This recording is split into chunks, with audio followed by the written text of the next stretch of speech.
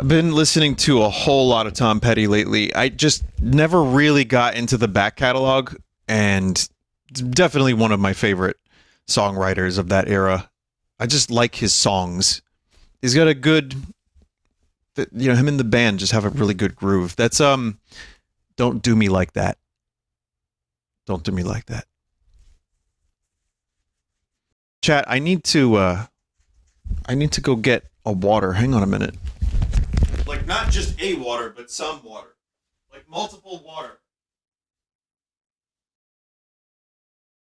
Like one water is not going to be enough. You need like a bunch of it together.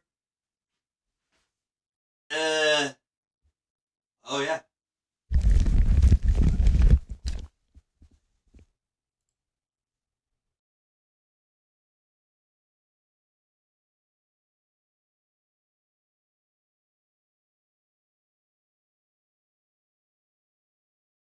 So would you now say that uh, Tom Petty and the Heartbreakers is the greatest American rock band?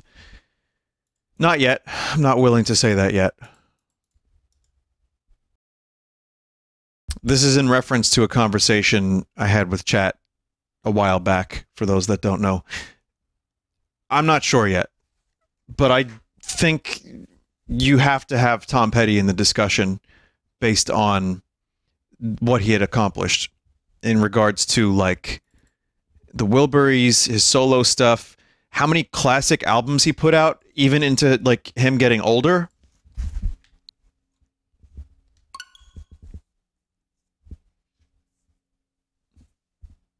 But uh, yeah, it's hard to it's hard to know because there's just so many. I mean, I don't know, man. I don't know. I give you like five. I give you like five and then you can pick from from those five.